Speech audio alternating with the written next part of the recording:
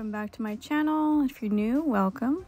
I do nail tutorials um, and I also do unboxings. If you like that sort of thing, please subscribe and give a like and a comment down below what would you like to see next.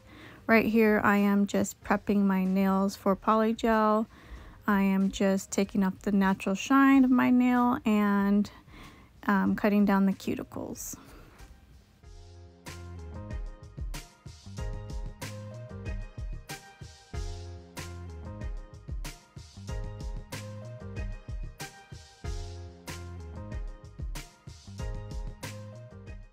This step in your uh, prepping your nails is a must so you don't get lifting and or anything when you're doing polygel so it's a must to prep your nails properly otherwise you will get lifting. Right here I'm using the cuticle ball bit for my e-file and it gently removes any cuticle that you might have. It's a must for prep for your nails. And if anyone wants to know what e-file I'm using, I'm using Makartt's e-file. It is a very good e-file. I do recommend, especially for beginners. And I do have a code and it's linked in my bio. But if you would like um, some coins off to save some money, I my code is butterfly candy underscore glam to save some extra money when you shop on Makartt's site. Here I am applying my tips. I do cut off just a little bit on the nail bed area. Um, I do that because I have very narrow nails, so this helps with application for me. And then I'm using my KDS glue to, to glue them on. I have no problems with that glue. It works like a charm. And then I will be trimming my nails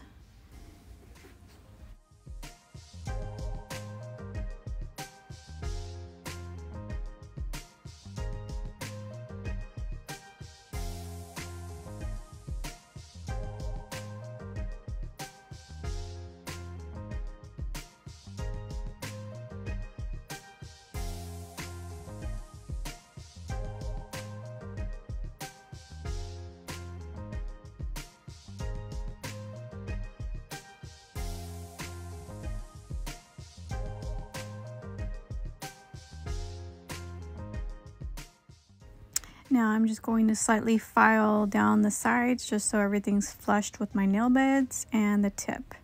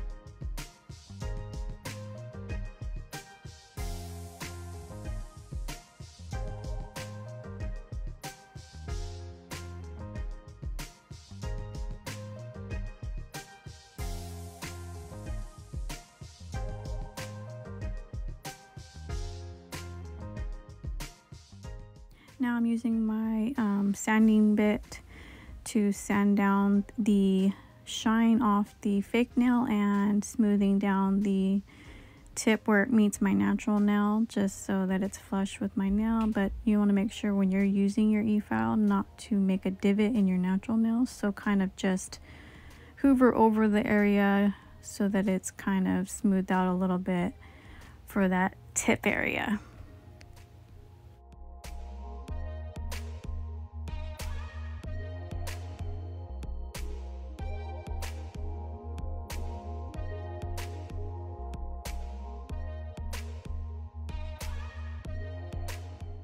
I'm sure there's some people wondering why I am sanding down the tips, but um, with poly gels, you have to sand down the tip so it, so the poly gel can grab on to the fake nail. Now with acrylics, you don't need to do that, obviously, but for polygel, you have to do that step because you want the polygel to actually adhere to the fake nail so it has a little grip to it when you sand it down.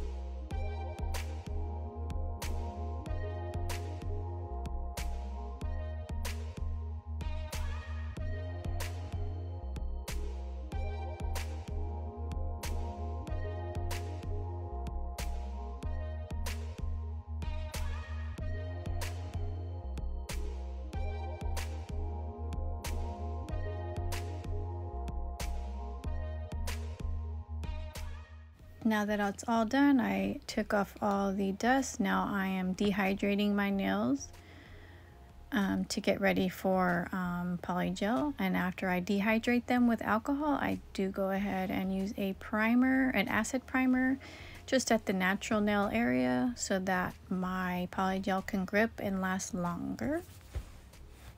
Now after you're done dehydrating and priming, you're going to go ahead and put a base coat on all of your nails.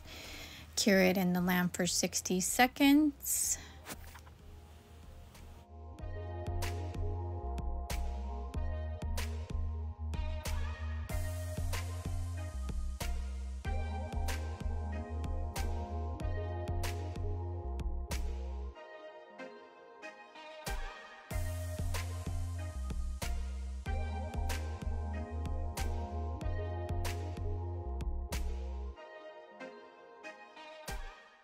Now it is time for your polygel application. Here is a pink nude that I'm using by Makartt. It is called La Crepe. I'm not sure if I pronounced that right, but you can find this color on their website. Um, I, I highly recommend their polygels. If you're a polygel tech, they are they have some of the best polygels I've worked with.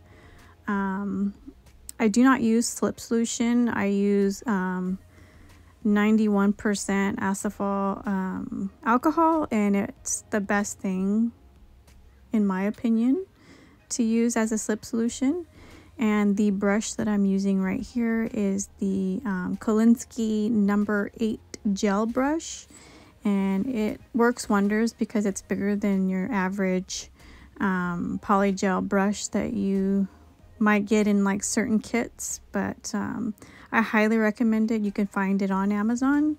It is wonderful. Now for the first bead that you see me do on the other clip, I did, um, I'm doing the two bead method where you do the first bead at the bottom where the tip area is and you don't worry about your apex until your second bead. And this is my second bead, so now I'm making sure my apex is at the right height and just so that has the good structure so it doesn't break. And that's why I do the two bead method. I just feel like it just works great for me, but it also works really good for beginners if they're just trying to learn polygel. This is a great way to learn. But um, make sure when you're using it or you're doing this method that you pat everything down nice and neatly and gently um, making sure your cuticle area is free of any polygel and making sure you're cleaning up your sidewalls so that it doesn't look bulky. And like I said just keep smoothing it out so that you don't have you know bumps or divots um, so you don't have to keep reapplying polygel. And also at the end when it's nice and smooth you don't really have a lot of filing. But right here you'll see me um, do the two bead method so I will just go ahead and let you watch and see how I do this step. Now I forgot to mention when you're done doing your smoothing out of your first bead and you're all done, make sure you cure in the lamp for 60 seconds, wipe the tacky layer off and go on to your next bead.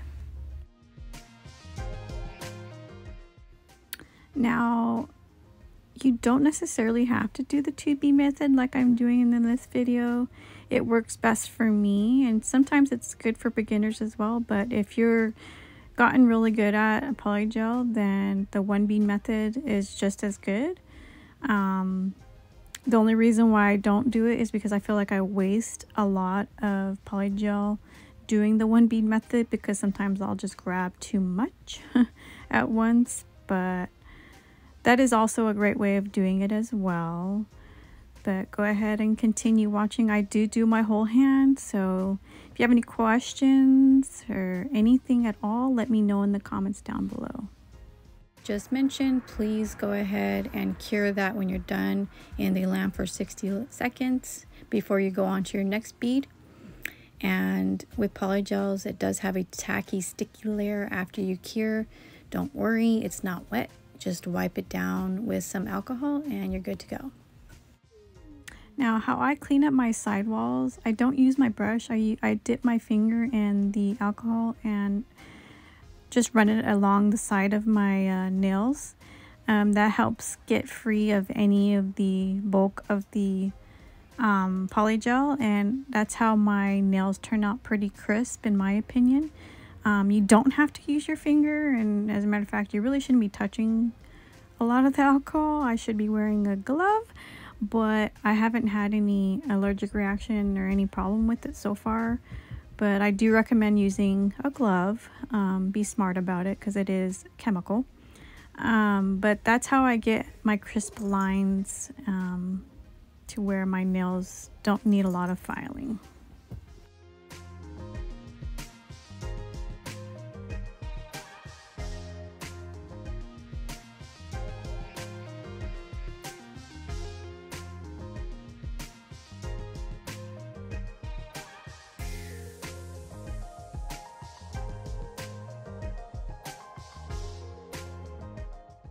And now um, these are my nails without them being filed. And as you can see, they're pretty smooth already. And that's what you want for your goal after you're done applying your poly gels.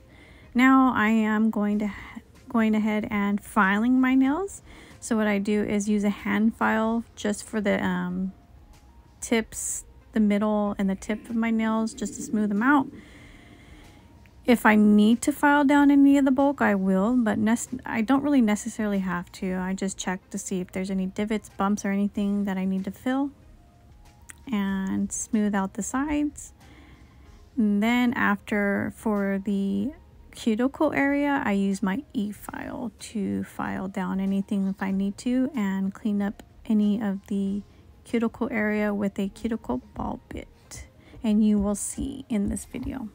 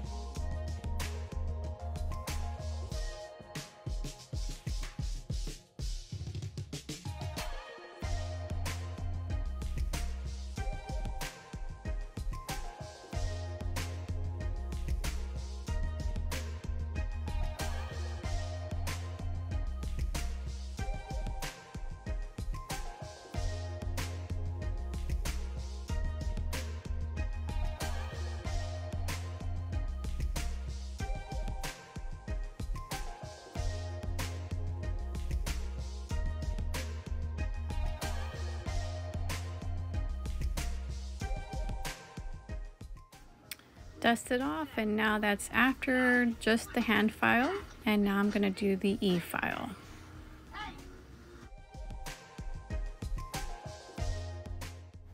Now with the E file as you can see I'm just using a sanding grand bit and just gently going over my cuticle area and if I need to file down any of the bulk which I really didn't have to I was just kind of making sure it was smooth on top as well and that's basically all I do for the cuticle area.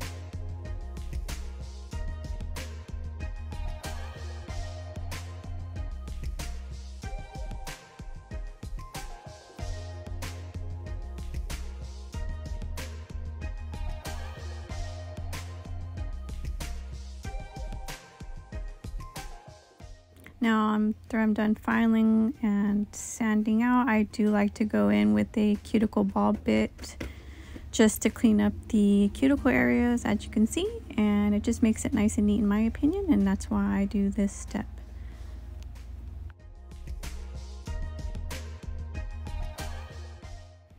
Now after all that I am going to show you just one of my nails um, I do end up doing a French tip for all of my nails in different browns because I do do a sweater look with Snoopy and Woodstock. But the reason why I didn't film it all is because I mainly wanted this video to be about application for beginners. So just enjoy the rest of the video and I hope you have a good day wherever you are and if you're not already, please subscribe, give a like, and a comment. And I hope you enjoy the rest of your day.